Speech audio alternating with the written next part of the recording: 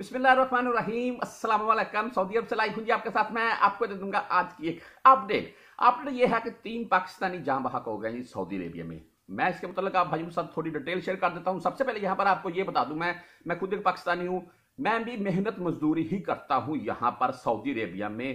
محنت مزدوری کرتا ہوں، پیسے کماتا ہوں، گھر بیچتا ہوں، اپنے خراجات گھر والوں کے خراجات اٹھاتا ہوں۔ بات یہ ہے کہ ہم تمام تر پاکستانی جو یہاں پر مقیم ہے اپنی محنت مزدوری کرتے ہیں، پیسے کماتے ہیں۔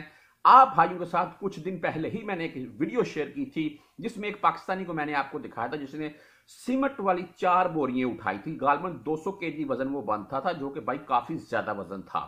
یہ بات آپ کے ساتھ کیوں شیئر کر رہا ہوں؟ ایسے بہت سے میرے پاکستانی بھائی ہیں جو محنت مزدوری یعنی کہ بلڈنگ لائن سے تعلق رکھتے ہیں۔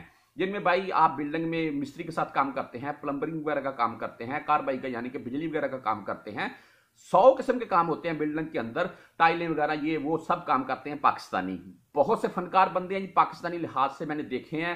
چار چار بندوں کا کام ایک ایک بندہ نکال جاتا ہے، ٹھیکے کے اوپر لیا ہوتا ہے جو۔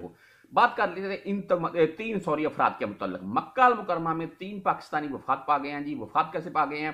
النسیم مکہ جو کا جو ایریا ہے میں نے اس کا وزٹ بھی کیا ہوا، وہاں پر ایک بلڈنگ بن رہی تھی اور یہ تینوں افراد اس بلڈنگ میں کام بندے اور بھی تھے، لیکن یہ تین اس جگہ پر مقیم تھے جہاں پر یہ واقع ہوا ہے۔ ادھر یہ کام کر رہے تھے، ٹائلیں وغیرہ لگا رہے تھے یا مستری کے ساتھ جیسے بھی۔ اکثر میں نے دیکھا ہے جی خارجی بھائی جو یعنی کہ بلوچی بھائی میرے ہوتے ہیں یا سرائکی بھائی، وہ ریت وغیرہ بھی اوپر یا سیمنٹ وغیرہ بھی لے کر جاتے ہیں۔ تو وہ یہ کام کر رہے تھے، وہاں سے وہی وہ بلڈنگ کا ایریا گر گیا ان کے اوپر۔ جیسے وہ گرا، آپ کو پتہ ہے، یہاں پر کنکریٹ ہوتی ہے، سریا ہوتا ہے، سب۔ تو یہ تینوں بچارے نیچے آ کر اسی ٹائم ان کا دھم گٹ گیا اور وفات پا گئے ہیں۔ مکہ پولیس نے ان کی باقاعدہ باڈیز وغیرہ نکالی ہیں اور ان کو بھائی ہاسپٹل بھیج دیا، قانونی کاروائی وغیرہ کر دی گئی ہے۔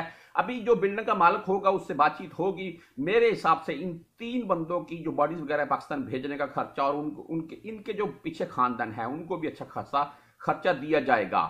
باقی آپ بھائیوں کو اس کے متعلق کوئی بھی علم ہو یعنی کہ باڈیز بیچنے کے یا خرچے وغیرہ کے متعلق بلڈنگ لائن کے متعلق، تو آپ بھی مجھے کمنٹ میں بتا سکتے ہیں۔